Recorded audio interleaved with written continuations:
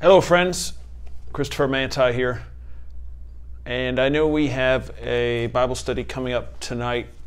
Um, Jake is going to upload it to the app as usual, but I felt uh, the Lord speaking to me, and I felt I would share it um, with you all right now. It's not really a Bible study, it's just a quick word. Um, it's just with all a lot of things that are going on. Obviously, we're preparing uh, here. We're at my local church, Iron Faith Fellowship, in my very modern office of cinder blocks.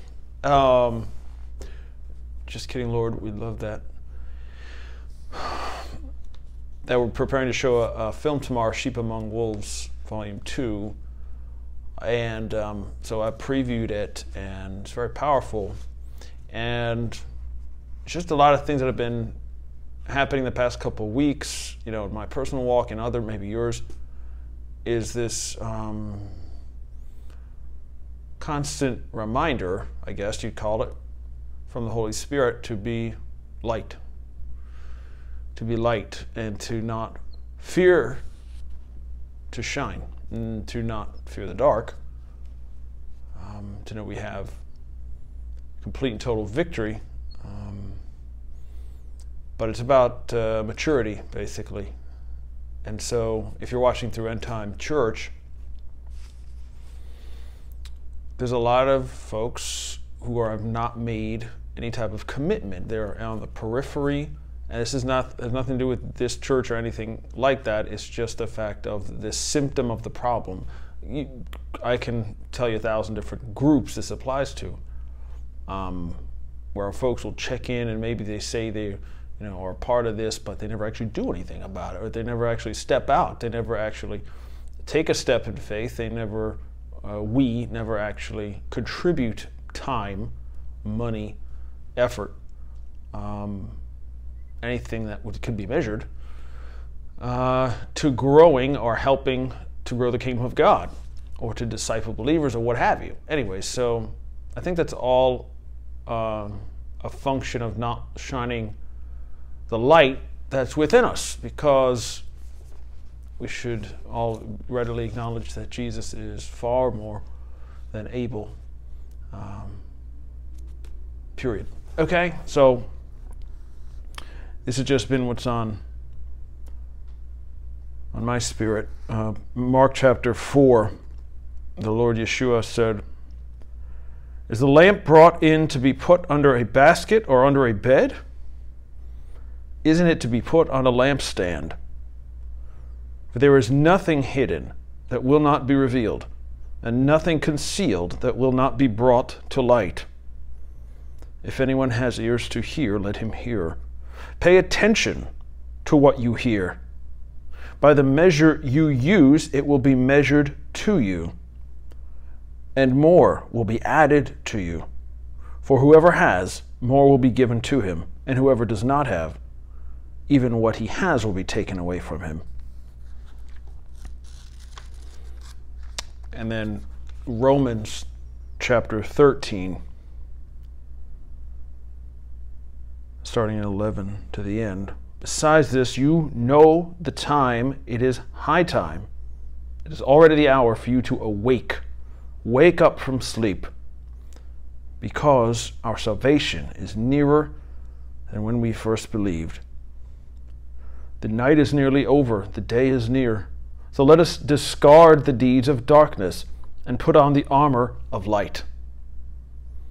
Let us walk with decency as in the daytime, not in carousing and drunkenness, not in sexual impurity and promiscuity, not in quarreling or jealousy, but put on the Lord Jesus Christ and do not make plans to gratify the desires of the flesh. This is obviously not a new problem.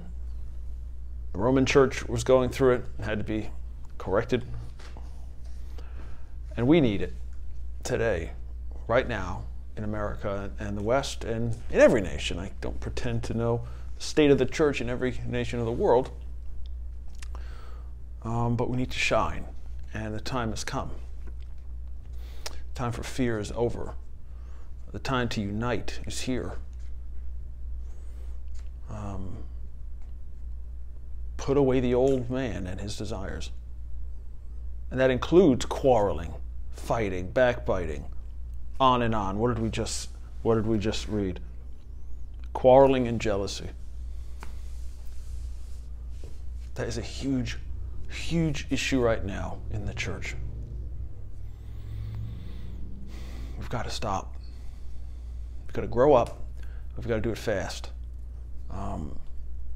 The day draws near. Indeed, the night is almost spent. That means the day of the Lord is near. Behold, the day of the Lord is near in the valley of decision. So, let us be serious about our faith, sold out for Christ, no more halfway, preaching to myself, okay? Um, put it away, whatever you must put away. We can't cheat God. Everything's going to come to light. So if we're the church, we're told in Revelation the church is the, a lampstand. Seven churches are the seven lampstands. So why would he give us a light to not be put on the lampstand? It's to provide the light to yourself and to others so you can see, so we can see in the dark. And the light shine the brightest when the time is the darkest. So don't worry and forget all these lies from the enemy and from humans, fellow man, uh, about what qualifications you do or don't have. God qualifies.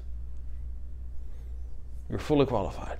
You're fully called, and you have a destiny. I prayed this morning that I would come in to my destiny, and that's it.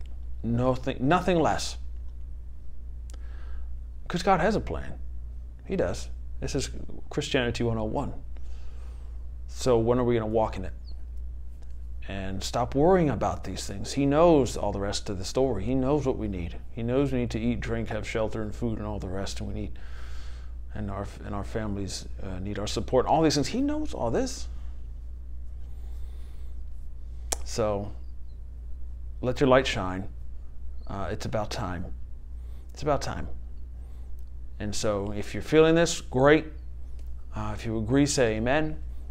And hopefully um, if you're one of the many that are, let's say, on the Time Church group, in the Time Church app, on Armageddon News, I only mention these, or Wings of the Eagle. I mention these things because I know uh, personally I can see the numbers, I can see the, the data. Uh, are so many who are allegedly interested or on the team, but don't make themselves, no, they don't support, they don't share, they don't. Um, we're not doing what we're supposed to do. Behave as a family. Behave like a family is supposed to, the family of God, and never be ashamed. So let's do it. If you're not in fellowship for whatever reason, please show up Monday nights and interact.